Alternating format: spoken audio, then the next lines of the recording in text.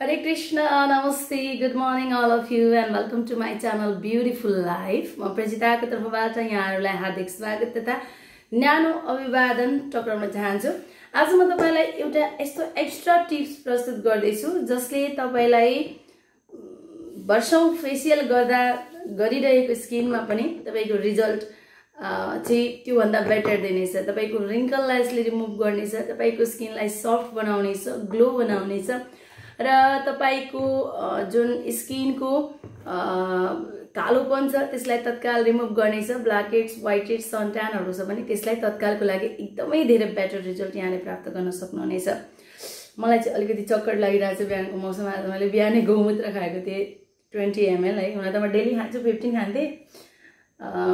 Fifteen ML खान्थेँ। आज fifteen into टूमा थर्टी एमएल त्यो खाए अलिकति चक्कर लाग्यो जस्तो भइरहेछ। है? मैले यहाँलाई जुन फेस प्याक बनाएर देखाउँदैछु हजुरलाई यसमा म एउटा अप्सन दिनेछु ओइली र ड्राई स्किनलाई। है ओइली स्किनले के गर्ने ड्राई स्किनले के गर्ने यसमा के मेटेरियल डिफ्रेन्स लगाउने। नर्मल स्किनले मेरो जस्तै ठ्याक्क जे छ त्यही लाउने है सो आउनुहोस्। भिडियोलाई सुरु गर्दैछु म। यसको लागि हामीले एउटा सफा बल लिनेछौँ। त्योभन्दा अगाडि ब्युटिफुल लाइफ हेर्दै हुनुहुन्छ। ब्युटिफुल लाइफमा हामीले स्वास्थ्यसँग अनि सुन्दरतासँग रिलेटेड र जीवनसँग रिलेटेड कुरा पनि हामी गर्नेछौँ। ब्युटिफुल लाइफ भनेकै सुन्दर जीवन है? जीवनलाई सुन्दर बनाउने कुराहरू हामी यसमा प्रस्तुत गर्नेछौँ। जस्तै स्वास्थ्य राम्रो भयो भने जीवन सुन्दर बन्छ सुन्दरता राम्रो भयो भने जीवन सुन्दर बन्छ होइन? त्यस्तै गरेर तपाईँको मन राम्रो हुनु पर्यो हृदय राम्रो हुनु पर्यो शरीर स्वस्थ छ मन रोगी भयो भने त्यहाँभन्दा बडो पीडादायक क्षण केही पनि हुँदैन। अरू मस्त निदाउँछन् हजुर के गर्नुहुन्छ? रातभरि जागराम बस्नुहुन्छ। यदि मन बिरामी भयो भने। अरू खुसी हुन्छन् सेलिब्रेसन गर्छन् घुम्छन्। हजुर के गर्नुहुन्छ? अरू चाहिँ संसारमा कति खुसी छन् हेर म मात्रै कति दुखी छु। यस्तै हुन्छ मन बिरामी भयो भने। अरूलाई सुखी देखिन्छ आफूलाई दुखी देखिन्छ। त्यसैले नकारात्मक कुराहरूलाई हृदयबाट निकालिदिनु सबैभन्दा पहिला। बिहानै उठेर प्रण गर्नुहोस् कि म स्वस्थ आत्मा हुँ। म एकदमै राम्रो आत्मा हुँ म दिएर खाने दानी आत्मा हुँ। कसैको पनि नराम्रो सोच्दिनँ र म खुसी पनि छु खुसी आत्मा हुँ म खुसी सेलिब्रेसन गर्छु आफ्नो जीवनलाई आनन्दले जिउँछु। यो कुराहरू हजुरको मनमा आउन सक्नु पर्यो है र यसैलाई भन्छन् आनन्ददायक जीवन। खै छोडौँ यसको बारेमा फेरि कुनै समय भिडियो बनाउला। यदि तपाईँलाई त्यस्तो इन्ट्रेस्ट छ भने होइन? र म कुरा गर्दैछु फेस प्याकको बारेमा।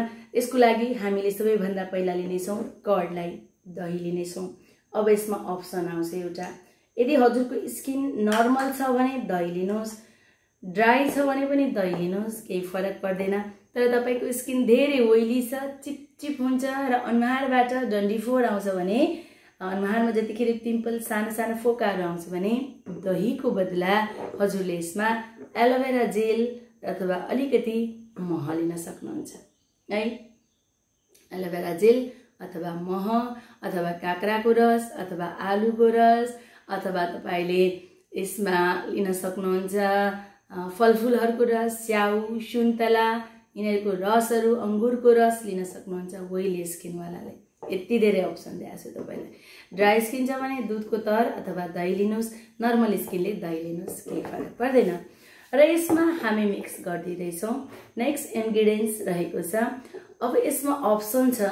यो अप्सन यो नर्मल स्किन ओइली स्किनले मुल्तानी माटो लिनुहोस्। ड्राई स्किनले मुल्तानी माटोको बदला बेसन अथवा चामलको पिठो अथवा मुसुरीको दाल लिन सक्नुहुन्छ। अप्सन यो नर्मल स्किनवाला फेसको लागि म बनाउँदैछु। मैले लिएको छु दही। दहीमा म राख्दैछु आधा चम्चा जति। मुल्तानी माटो यसमा नेचुरल स्किन ब्लिचिङ र वाइटनिङ प्रपर्टिज हुन्छ। तपाईँको स्किनलाई सफा बनाउने काम गर्छ मुल्तानी माटोले। त्यसपछि अर्को इन्ग्रिडियन्ट्स हामी यसमा मिक्स गर्दैछौँ। टमाटो टमाटोको रस अल टाइप स्किनले लिन सक्नुहुन्छ। जसलाई टमाटोसँग एलर्जी छ तपाईँले नलिनुहोस्। अरू बाँकी सबैले टमाटोको यो जुन रस हुन्छ यसलाई लिन सक्नुहुन्छ। टमाटोमा नेचुरल एन्टिअक्सिडेन्ट प्रपर्टिज हुन्छ भिटामिन सी हुन्छ जसले गर्दा तपाईँको स्किनलाई नेचुरल्ली सफा स्वच्छ राख्ने काम गर्छ टमाटोले। है टमाटो सँगसँगै अब हामी लिनेछौँ एउटा इन्ग्रिडियन्ट्स जुन रहेको छ जेठी मधुको धुलो तपाईँले आयुर्वेदिक पसलमा गएर यसलाई लिन सक्नुहुन्छ सजिलै पाइन्छ र धेरैजनासँग त हामीले यहीँबाट पठाइदिएको पनि छ यो जुन तपाईँले युज गरिरहनु भएको छ। र यो जेठी मधुको धुलोले तपाईँको स्किनको चिलाउने छ एलर्जी छ स्किन चाउरी परेको छ अनुहारमा दाग दब्बा छ सबै कुरालाई राम्रो गर्छ। यो गुलियो हुन्छ खानको लागि यसलाई यसको रस जुन हुन्छ एकदमै लघु कसा यो एकदमै मिठो हुन्छ होइन? र हजुरको जेठी मधुको धुलो खानको लागि प्रयोग गरिन्छ औषधीय रूपमा। अब यहाँ भिडियो हेरेर तपाईँले लाउनुको लागि युज गर्दै हुनुहुन्छ। र यसमा ओइली स्किन नर्मल स्किनले दुई तिन थोपा कागतीको रस राखिदिनुहोस्। ड्राई स्किनले यति नै। आधा चम्चा मैले राखेँ यहाँ नर्मल स्किनलाई ओइली स्किनलाई ड्राई स्किनले कागती नलाउनुहोस् स्किनमा तपाईँले यसको बदला के गर्नुहोस्? यसको बदलामा हजुरले लिन सक्नुहुन्छ आधा चम्चा बदामको तेल अथवा जैतुनको तेल। ओलिभ ओइल अथवा बदामको तेल लगाइदिनुहोस् जसको स्किन ड्राई छ उहाँहरूले। र तपाईँ दुवै होइन तिन टाइपको स्किन अब सेन्सिटिभ स्किनको लागि त मतलब एकदमै धेरै केयरिङ गरेर लाउनुपर्छ जे चिजहरू पनि। सेन्सिटिभ स्किनले के गर्ने तपाईँले आफूले थाहा पाउने यो कम्बिनेसन स्किनको लागि पनि राम्रो हुन्छ जसको स्किन ओइली छ आधा आधा ड्राई छ तपाईँको लागि पनि यो ठिक छ केही फरक पर्दैन। जसको स्किन सेन्सिटिभ छ सेन्स अरू सबै ओइली ड्राई नर्मल स्किनले कसरी लाउने मैले भनिसकेको छु। जसको स्किन ओइली छ सरी सेन्सिटिभ छ सेन्सिटिभ स्किनले के लाउँदा आफ्नो स्किनलाई के हुन्छ जानेर अनि मात्रै प्रयोग गर्ने हजुरलाई यो सल्लाह सेन्सिटिभ स्किन हुनु बडो दुर्भाग्यको कुरा हो होइन? किनकि कहिलेकाहीँ जे लगाइदिए पनि के हुन्छ एलर्जी भइदिन्छ। जे लगाइदियो तपाईँलाई सुट गर्दैन जे लगाइदियो इचिङ हुन्छ घाउ हुन्छ अनि त्यही घाउबाट पोतोहरू बन्छ होइन? अलिकति स्किन एलर्जी भयो दागहरू बस्यो चिलायो भने हुन्छ। फेरि पनि धेरैजना कस्टमर सरी कस्टमर भन्न आउँछ। यहाँहरूको दर्शकहरूको मैले सुनिरहेको हुन्छु। कतिपय पेजहरूमा देखिरहेको छु फलानु थोक लगाएको यस्तो भयो होइन? तपाईँलाई म भन्दैछु डाइरेक्ट कागती आफ्नो फेसमा एप्लाई नगर्नुहोस्। कागतीलाई यसरी कुनै चिजमा मिसाएर लाउन सकिन्छ जसले कागतीसँग एलर्जी छ नलाउनुहोस्। कुनै पनि चिजले आफूलाई एलर्जी हुन्छ भने थोरै ठाउँमा ट्राई गरेर लगाउनुहोस् है? अर्को कुरा एप्पल साइडर भिनेगर जुन हजुरले युट्युबहरूमा गुगलहरूमा कसैले भिडियो बनाएको देख्नुहुन्छ। एप्पल साइडर भिनेगर इनो धेरै कफी पाउडर अनि डाइरेक्ट लेमन कोलगेट है? अनि त्यस्तै गरेर हजुरको सोडा खाने सोडा होइन? यस्तो चिजहरूलाई आफ्नो फेसमा डाइरेक्ट एप्लाई नगर्नुहोला।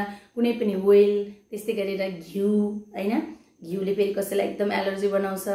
चिलाउने हुन्छ स्किन टाइप थाहा पाएर लाउने जसको ड्राई स्किन छ कुनै तेलमा अलिकति मिसाएर लाउन सक्नुहुन्छ र घिउलाई लाउनुहुन्छ तेललाई लाउनुहुन्छ भने आफ्नो नाभिमा लगाइदिनुहोस् नाइटोमा तपाईँले घिउ र तेल लाएर सुत्नुभयो भने तपाईँलाई धेरै रोगहरूबाट पिसाब पोल्ने रोगहरू भयो होइन? धेरै रोगहरूबाट निको बनाउनुका साथै तपाईँको स्किनमा ग्लो पनि आउँछ। यदि तेल लाएर सुत्ने बानी गर्नुहुन्छ भने बच्चाहरूलाई पनि कुनै पनि तेल नरिवलको तेल भयो ओलिभ ओइल सबैको आफ्नो आफ्नै विशेषता छ। तीहरू लगाइदिन सक्नुहुन्छ। तोरीको तेल पनि लाउन सकिन्छ नाभिमा। है यसरी यो फेस मास्क जुन बनाउनु भएको छ यसलाई अल फेसमा यसरी एप्लाई गरिदिनुहोस्।